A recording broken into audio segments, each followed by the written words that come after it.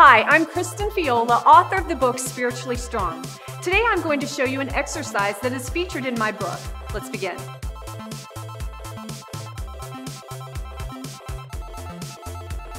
The hip bridge exercise is one that seems very simple, and it is, but it's very effective in building the muscles of the core, particularly because it focuses on the transverse abdominis muscle.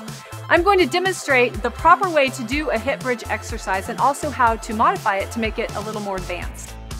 So start by lying on the floor, arms to the sides, and your knees are bent. You're going to lift up your midsection, and your body should form a straight line.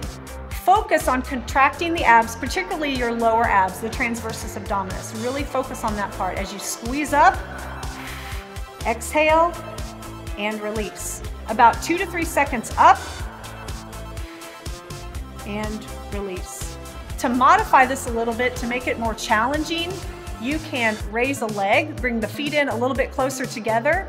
As you lift up, raise a leg, and lower just a little bit different to make it more difficult. Thank you so much for viewing this exercise video. I hope it's been helpful for you. If you haven't already gotten a copy of my book, Spiritually Strong, you can find it online, you can order it through my website, or get it wherever books are sold.